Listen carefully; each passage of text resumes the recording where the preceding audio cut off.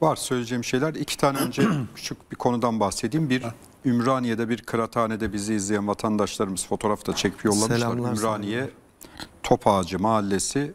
Ümraniye Belediyesi ile bir sorunlar var. Kentsel dönüşümden ve rezerv alanlarından dolayı mahallelerinden çıkartılmak istendiklerini söylüyorlar ve AK Parti yönetimine çağrı yapıyorlar. Gelin buradaki durumu bir inceleyin mağdur oluyoruz diye. Ümraniye biliyorsunuz AK Parti'nin belediyeyi kazandığı bir yer.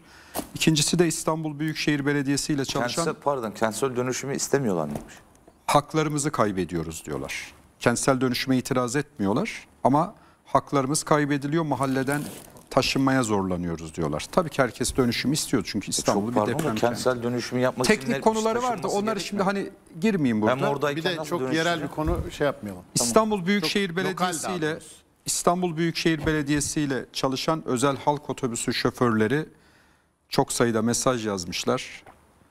Alacaklarımız var. Ekrem İmamoğlu'na çağrıda bulunuyoruz. Onları ödesinler diye onu da söyleyeyim. Aylardır alamıyorlar. Bu Evet, orada sorun var. UKM toplantısı var. Orada da Ulaştırma Bakanlığı e, taksi meselesinde e, şey uygulamayı destekleyen Bir adını vermeyin de bir kuş vardı. uygulamayı destekleyeceğini açıkladı O, o kuş da bir ayrı bir mesele çünkü trafik güvenliği ile ilgili de ciddi tedbirler alınması lazım. Özellikle motosiklet kullanan kardeşlerimize söyleyelim hakikaten yani korkarak araba kullanıyoruz. İnanılmaz tehlikelerle herkes İstanbul'da, Ankara'da bundan dertli. Gelelim mevzuya. E, motosikletlere e, onlara çağrı yapıyoruz ama yani İçişleri Bakanımıza da çağrı yapalım. Em, emniyeti de trafik şubeye de çağrı yapalım. E, motosiklet e, yaya mı taşıt mı? Evet. Bakıyorsunuz yaya, yaya geçidinde onlar var. Kullanıyor. Karşı şeritten Karşı şeritten geliyorlar. Ters yöne girme hakları var mı yok mu? Orada Hasan abi Karar verelim. Çalışma Bakanlığı'nın da devreye girmesi lazım.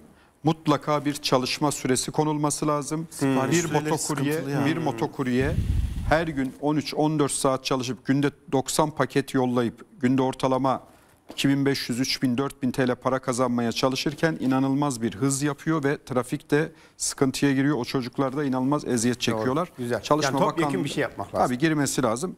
Şimdi bir, geçen gün ismini söylemesem biliyorsun bir önemli bir iş insanıyla onların deyimiyle söyleyeyim kapitalist değil iş insanı yemek yedik bir burjuvazimizde. bir burjuvayla Ben dedi ki yemedim de o yediğini.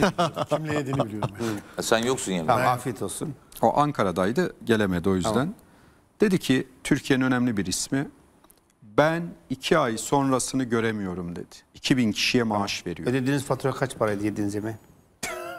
ya döner ekmek yedik abi bir şey yemedik İş, vallahi iş döner burjuvazdan bahsediyor. Ta, afiyet döner abi. yedik abi Tamam güzel tamam abi. tamam yani mütevazi bir yerden döner yaptırdı yedik Güzel. Dedi ki ben iki ay sonrasını göremiyorum. Tamam.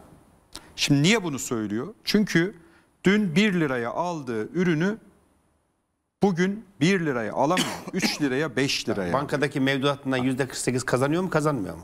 Ben ona bakarım. Abi yani madem da- iş insanı O da AK Parti iktidarında arttı bu kadar mevduatlar canım. Ne yapalım yani? Şimdi Türkiye'deki temel sorun şu. yani yüzde Türkiye'deki 48 yüzde 30'a düşecekse tabii göremez. Yani yüzde 18 kaybım olacak. Hasan abi yıllarca mücadele ettiğinizi söylediğiniz Koç grubu AK Parti'ye teşekkür etti. En çok parayı AK Parti döneminde kazandık dedi.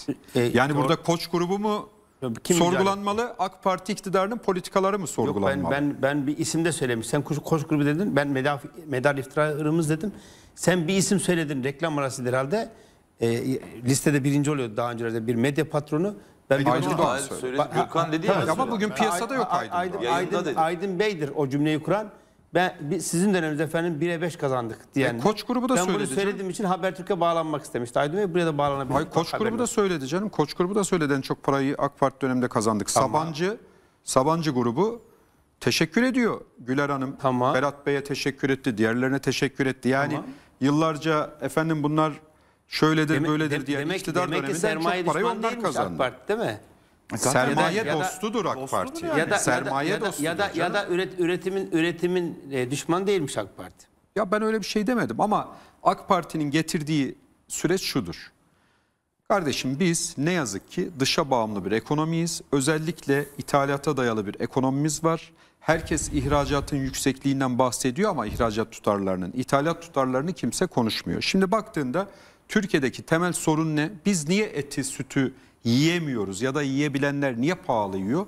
Çünkü Türkiye'nin en temel sorunu maaşların artışı değil, üretim özür dilerim maliyet enflasyonudur. Türkiye'de maliyet çok yüksek. Bak geçen gün bir Hasan abinin deyimle zengin değil gerçekten küçük ölçekli bir işletme. Bir arkadaşım Nişantaşı'nda bizim de çok iyi programımızı izliyor. Kahvaltı salonu var. Abi illa gel illa gel dedi. Neyse gittik sağ olsun ikram İzzet Nişantaşı'nda. Kahvaltı kaç para dedim sende. Ben gittiğim her yerde fiyat sorarım. O kaç yani şeyden çünkü bilmek zorundayız. Dedi ki 425 lira ama ben dedi bu sene hiç para kazanamadım dedi. Niye dedim? Abi dedi bak buranın dedi kirası 60 bin lira. Bir yaşlı hanımefendi teyzemiz var sağ olsun dedi kirayı artırmıyor dedi. Ya zaten zar zor para kazanıyorsun artırmıyorum demiş. Fakat dedi ben bu kahvaltıyı 425 liraya sattığımda para kazanamıyorum. Bunu 650 TL'ye satmam lazım ki burası dönsün ve ben de biraz para kazanayım. Niye dedim? Şunun için dedi. Gittiğimiz gün. Abi daha bugün dedi elektriğe yüzde 40 zam geldi. Bak elektriğe.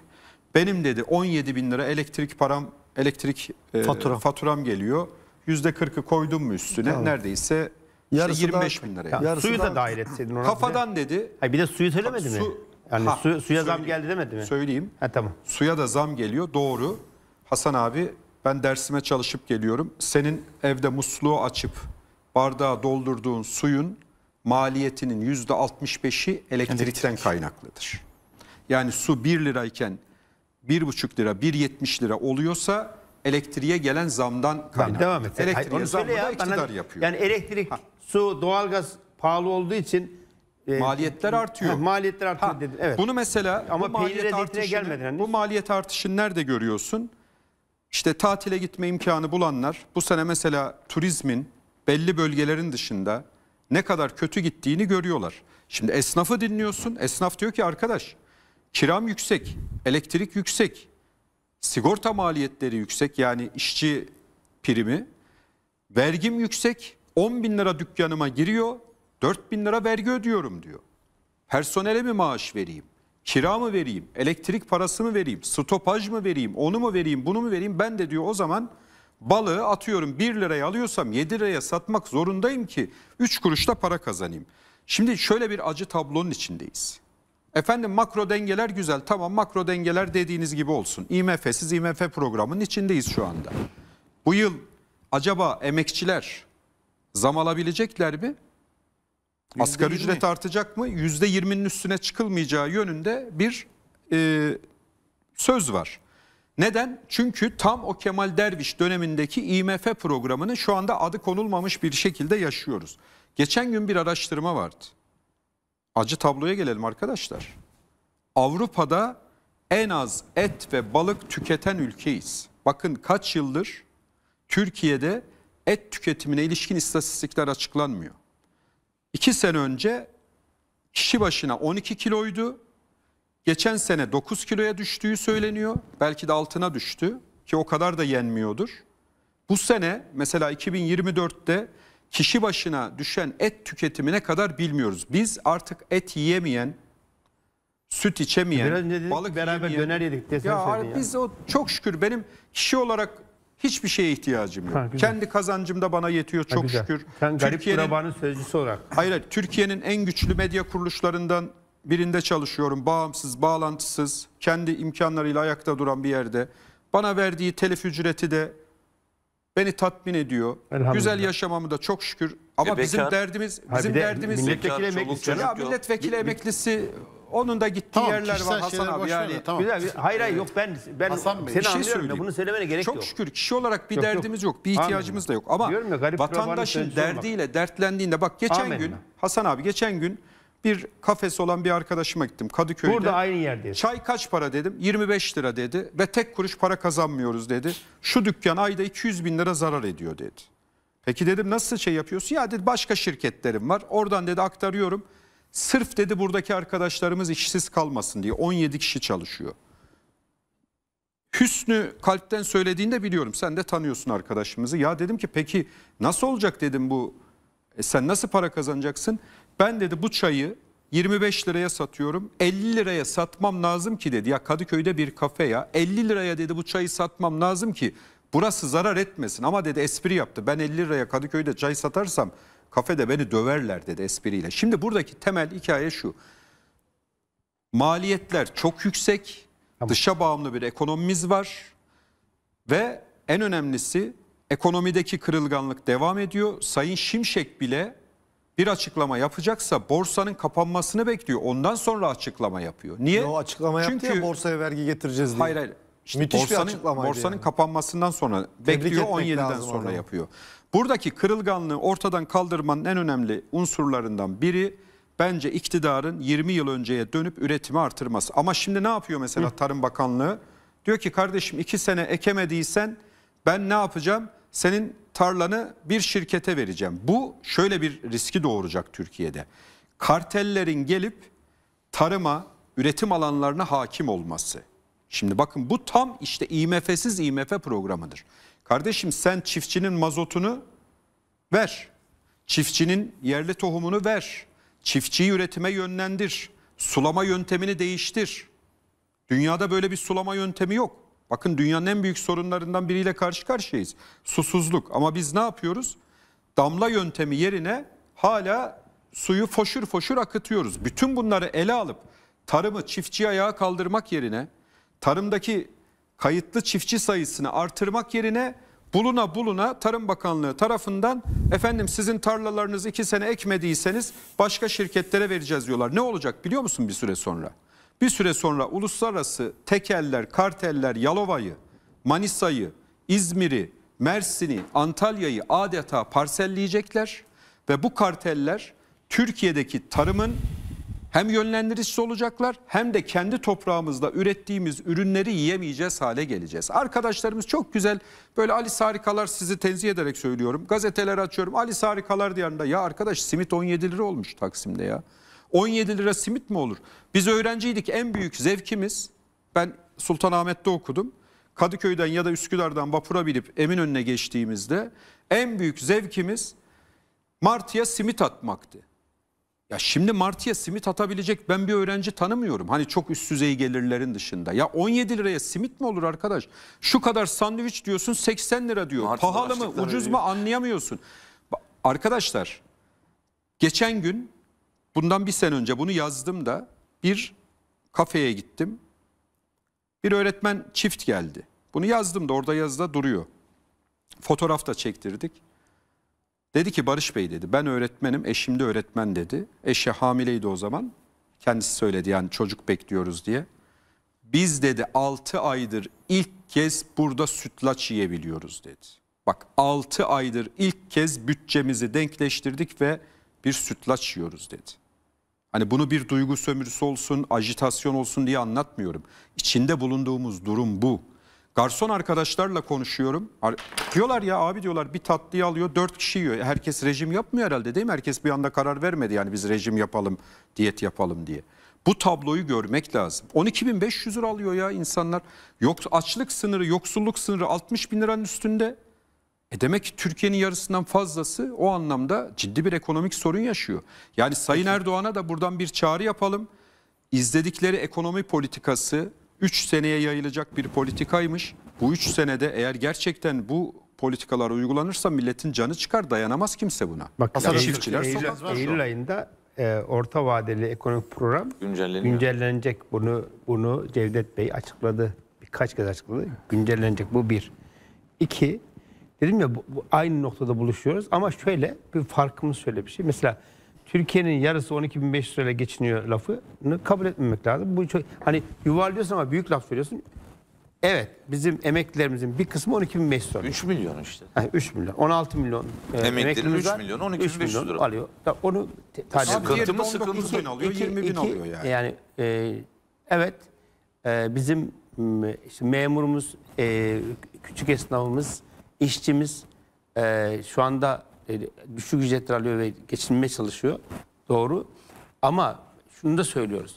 Bir, niye sen mesela bu, bütün bunları anlattıktan sonra evet hükümete de laf söyle o da doğru. Çünkü senin yüzünden oldu kardeşim. Deme hakkına da sahipsin. O da tamam. Ama diyorsun ya biraz önce kendin söyledin. Bir de burada Parasına para katanlar var. Onlara da bir şey söyle. Ben onu söylüyorum işte. Yani çözüm önerisi Abi olarak. o rant ben- sistemi ben ona ben- zaten baştan sona karşıyım. ben, ben ona bir şey daha- söylememe sadece gerek var. rant hayır. Bankalar- hayır hayır hayır. Bir bankalar dakika, milletin bir dakika, ben, kanını ben emiyor, mesela şu sülük anda gibi faizler faizler yükseldi. Faizden para kazananları kastederek söylemiyorum ben sadece. ha. Yani şu anda faiz yükseldiği için işte rant sistemi oldu. Hayır kardeşim ben sanayicisinin de bu işte. Yani üreten adam Abi insanlar korkuyor parasının değerini korumak için götürüyor mevduata yatırıyor yatırım yapmıyor diyor ki yatırım yapsam diyor kira mı vereyim elektriğe mi vereyim stopaj mı yapayım o zaman ne yapacaksın öyle bir güvenli hale getireceksin ki insanlar gidecek yatırım yapacak Ben araba alım Şimşek satımı durdu ev alım satımı ondan bir durdu cümle söyleyeyim. Ondan bir cümle nakledeyim. Ee, sanayiyi mutlaka başıboş bırakamayız. Planlama yapmamız lazım diye bir cümle kurmuştu. Bir yayında, canlı yayında. Mehmet Şimşek. Şimdi bu, bu mesela ben çok değerli bulduğum sürekli altını çiziyorum. Şimdi Türkiye'nin sanayi üretimi bence iyi gidiyor ve bunu daha da artıracağız diyor. Şimdi bunların hepsinin e, o sanayide çalışan insanlara da yansımasının olması gerekiyor. Yani adam sanayide 17.500 liraya çalıştırdığı adamın üzerinden katma değerini yani güvenmiyorum onun için yatırıma da dönüştürmüyorum deyip bankaya yatırıp faiz alıyor diyorsun ya. İşte onun ona bir şey yapması lazım hükümetin. Müdahale etmesi lazım. Etmedi. Öbürkünün de ya kardeşim bu adam 17 bin liraya çalıştırıyorum. Ben bu 17 bin liranın ürettiği katma değer bana 1 milyon 175 bin lira olarak dönüyorsun diyorsa onun gereğini yapsın.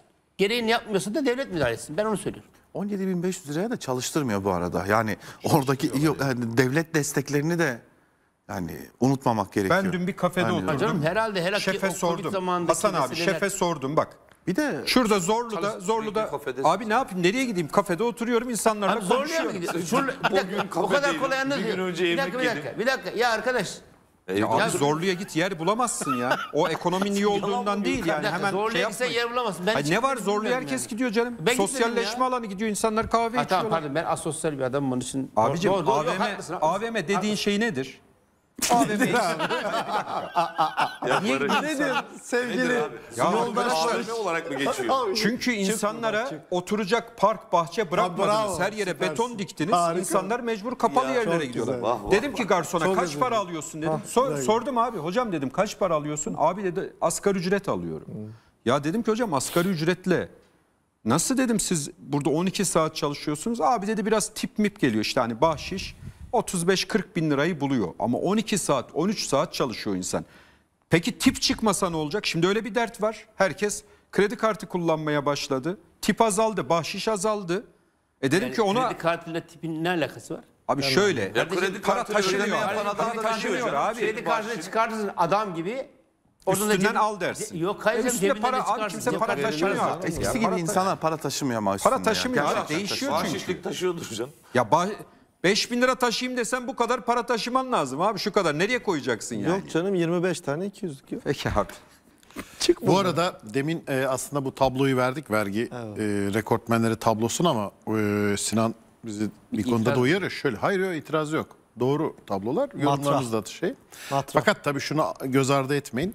Koç grubunun Şirketleri. e, sahipleri düşük gibi gözüküyor ama Şirketler. Koç grubunun e, sanayi yatırımları çok yüksek olduğu için Ben onu yeni arada. fabrikalar vesaireler şeyde sanayi e, savunma sanayinde ise yatırım o kadar büyük olmuyor. O daha çok know-how'a dayalı ve ihracata dayalı bir şey olduğu için. Ya fabrikaları e, saysanız korkunç evet. bir yere gidiyor. Ve e, bu noktada Koç grubunun ilk 3 çeyrek değil mi Sinan bu? Kümülatif. Evet, e, cirosu 14 milyar dolar. Bunu söyleyelim bir kere. Yani Oradan orada bir- yüzde alsan- oradan yüzde yani orada yatırıma yönelmiş ve o yatırımlardan da çok büyük bir ciroya Ya erişmiş. kim yatırım Koç grubu teşekkür ediyoruz. herhalde Kim bir kişi işe Kim bir almışsa kişi istihdam ediyorsa Allah ebeden razı olsun. Öyle ona da teşekkür Evet, edelim. bağlıyoruz programı. Bir Söyleyeceğim bir şey kişiyi, var bir kişiyi işe yerleştirmenin maliyeti 2,5 milyon TL. Hesap et yani. Yani öyle bir sıkıntı var.